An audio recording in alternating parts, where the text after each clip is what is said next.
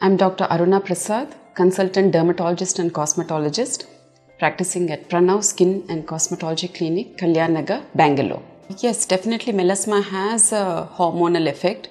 That is why it is seen in uh, women who during pregnancy or menopausal. So hormones do play a major important role in melasma. Also, it could be hereditary. Now, progesterone playing a role, yes, increased levels of progesterone are known to cause melasma. So, the increased progesterone levels during pregnancy or postmenopausal when someone is on hormone medication, that is, hormone replacement therapy, which contains increased progesterone, can lead to melasma. So, hormones are known to cause melasma.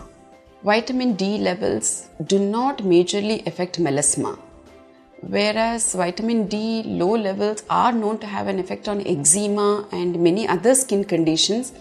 But melasma, it's uh, research wise and theoretically, it's known to cause or have any effect on melasma.